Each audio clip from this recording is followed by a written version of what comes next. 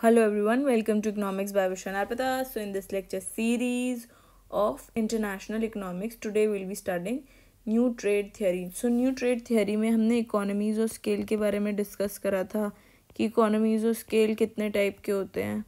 दो टाइप के होते हैं वन इज़ इंटरनल इकोनॉमीज़ और स्केल और दूसरा होता है हमारा एक्सटर्नल इकोनॉमीज़ और स्केल इंटरनल में हमने डंपिंग और reciprocal dumping we already done आज जो हम करेंगे वो एक्सटर्नल इकोनॉमीज़ ऑफ़ स्केल के बारे में करेंगे। इंटरनल हम कर चुके हैं कि जैसे जैसे हमारी आउटपुट जो है क्यू क्वांटिटी बढ़ती है वैसे वैसे हमारी क्वांटिटी जो हमारी कॉस्ट है एवरेज कॉस्ट जो है वो रिड्यूस होती जाती है।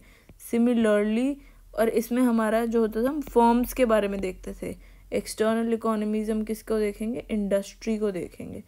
सो so, जैसे एक क्लस्टर है किसी भी इंडस्ट्री का जैसे आप चाइना के अंदर देख लो गुंगजाओ ऐसा रीजन है जो एस सी जेड है स्पेशल इकोनॉमिक जोन तो वहाँ पे चीप लेबर मिलती है इलेक्ट्रिसिटी चीप मिलती है तो जिसकी वजह से और लेबर की स्पेशलाइजेशन काफ़ी जिसकी वजह से प्रोडक्शन बढ़ जाती है.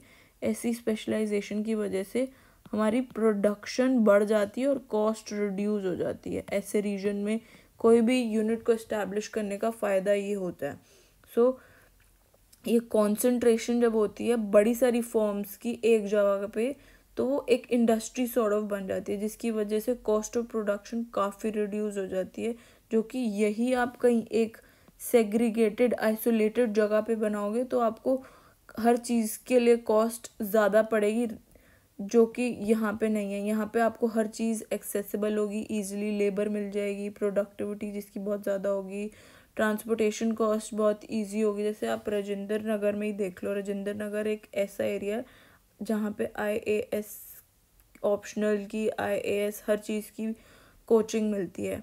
और वहाँ पे आपको अगर स्टेशनरी लेने जाओगे रजिस्टर लेने जाओगे, बहुत ही सस्ता मिलेगा। क्यों?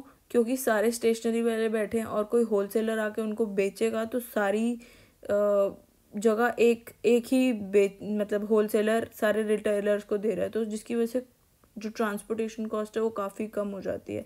सो दिस इज़ द वही कि कम होने की वजह से कॉन्सेंट्रेशन होती है फॉर्म की, जिसकी वजह से एक ही क्वांटिटी प्रोड्यूस करने पे भी कॉस्ट कम हो जाती है। वहाँ पे हम क्वांटिटी इंक्रीज कर रहे थे, तब हमारी कॉस्ट डिक्रीज हो रही थी। यहाँ पे हमारी वैसी कॉस्ट डिक्रीज हो जाती है। वही सेम क्वांटिटी के लिए। तो एक्सटर्नल इकोनॉमीज़ यही बताता है कि in case of external economies of scale जो कॉस्ट पर यूनिट है, वो डिपेंड करता है साइज़ ऑफ़ द इंडस्ट्री अगर इंडस्ट्री का साइज़ काफ़ी बड़ा है तो वहाँ पे कॉस्ट ऑफ़ प्रोडक्शन काफ़ी कम होगी. And necessary and not necessary on the size of the firm firm के साइज़ से कोई मतलब नहीं है. साइज़ ऑफ़ द इंडस्ट्री से मतलब है. मार्शल ने आर्ग्यू करा था कि तीन मेन रीजंस हैं जो उन्होंने एक्सप्लेन करे कि एक क्लस्टर जो है ये जो एक क्लस्टर है of firm may be more efficient than individual firms individual की बजाय एक इंडिविजुअल फॉर्म की बजाय क्लस्टर क्यू जो है वो इतना ज़्यादा एफिशिएंट होता है? रादर देन एक आइसोलेटेड फॉर्म की बजाय। सो so, उन्होंने पहला बताया कि जो एबिलिटी है एक क्लस्टर की क्लस्टर ऑफ़ फॉर्म की to support specialise labour it means कि only when number of firm जो हैं वो इंक्रीज हो जाती हैं then there will be an then they will able to use specialise supplier वो स्पेशलाइज सप्लायर जो है लेबर एंड देयर बाय वो जो है कॉस्ट जो है वो रिड्यूस हो जाती है।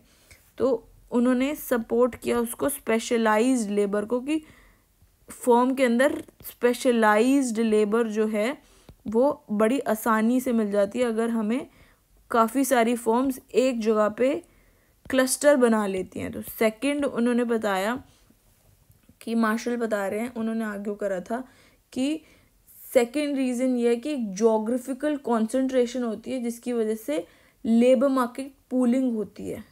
सेकंड क्या बताया? लेबर मार्केट पूलिंग कि लेबर बहुत लेबर मार्केट पूलिंग होती है। थर्ड उन्होंने बताया कि जोग्राफिकल कॉन्सेंट्रेशन की वजह से इंडस्ट्री जो है वो प्रमोट करती है नॉलेज स्पिल ओवर एक फॉर्म को पता चलता है तो दूसरी फॉर्म को अपना पता चल जाता है। तो नॉलेज जो स्पिल ओवर है, वो भी एक एडवांटेज होता है सारी फॉर्म्स के लिए जो कि एक कॉन्सेंट्रेटेड यूनिट में बैठी हैं। So this was all about हमारा एक्सटर्नल इकोनॉमीज ऑफ़ स्केल जो नेक्स्ट वीडियो आएगी that would be on external economies और इंटरनेशनल ट्रेड पे क्या क्या उसका रिलेशन होता है that will be starting so yeah stay यून for that thanks for watching till then bye also please do like share and subscribe to economics by vision Arpita